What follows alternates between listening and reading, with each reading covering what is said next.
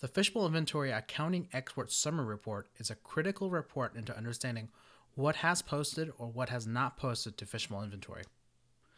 Um, in this report, I have a list of sales orders that are just ready, uh, pending to be posted over to over to uh, Xero in this case.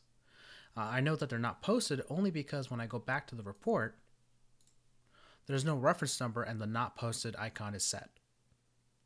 Now in this report, you can specify particular date ranges of when the transaction has occurred, not when it has posted, BOM numbers, sales order number products, purchase order numbers, sales order numbers, work order numbers, and purchase order parts.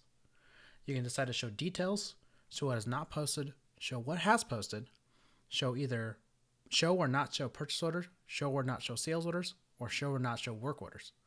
Now, this report is very helpful to understand what transactions may have been marked as posted because if things are marked as posted, they'll have the little uh, check mark flag, but also no reference number to tie to something on the other side, either QuickBooks or Xero.